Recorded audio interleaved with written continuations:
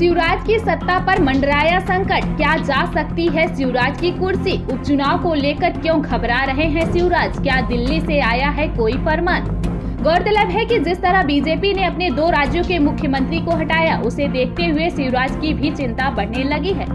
बता दें, मध्य प्रदेश की सियासत एक बार फिर उपचुनाव की कसौटी पर उतरने की तैयारी में है। इस बार तीन विधानसभा क्षेत्रों और लोकसभा की एक सीट के लिए उपचुनाव होने वाले हैं। हालाँकि अभी तक चुनाव कार्यक्रम की घोषणा नहीं हुई है, लेकिन राजनीतिक दल तैयारियों में जुट गए हैं।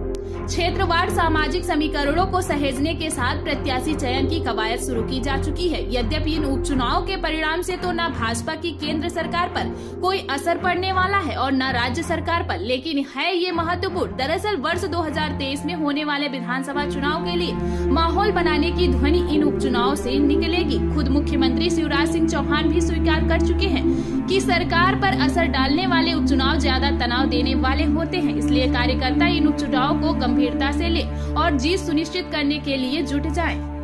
वहीं कांग्रेस भी इन उपचुनाव को अपने लिए एक अवसर के रूप में देख रही है। उसे उम्मीद है कि कोरोना काल के दौरान पैदा हुई विषम स्थितियों के कारण शायद उसके हिस्से कोई करिश्मा हो जाए। हालाँकि यह सच्चाई है कि 2018 में सरकार बनाने के बाद अंतर कलह के कारण विपक्ष में आ बैठी कांग्रेस को भी इन उपचुनाव के परिणाम से कोई बड़ा फ़ायदा नहीं होने वाला है। लेकिन वह यह जानती है कि इन उपचुनाव में यदि जीत मिलती है तो इससे भविष्य की राजनीति के लिए माहौल बनाने में उसे मदद मिल सकती है। इसलिए वह पूरे दमखम के साथ मैदान में उतरने की तैयारी कर रही है।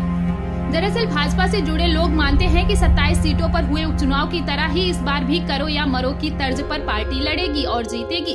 वे कहते हैं कि ज्योतिरादित्य सिंधिया के भाजपा में शामिल होने के बाद उनके समर्थक कांग्रेस विधायकों के इस्तीफे के बाद 27 सीटों पर हुए उपचुनाव में पार्टी ने जिस तरह सर्वाधिक सीटें जीतकर अपनी सरकार को सुरक्षित कर लिया उसी तरह इस बार भी पार्टी विजय पताखा फहराएगी। हालाँकि कुछ माह पूर्व विधानसभा की दमोह सीट पर हुए उपचुनाव में भाजपा को बड़ी पराजय मिली थी। इस हार का संदेह यही है कि लोकसभा की एक और विधानसभा की तीन सीटों के उपचुनाव कांग्रेस से अधिक भाजपा के लिए चुनौती है। ऐसे ही खबरों से अपडेट रहने के लिए सरोकार इंडिया से जुड़े रहे।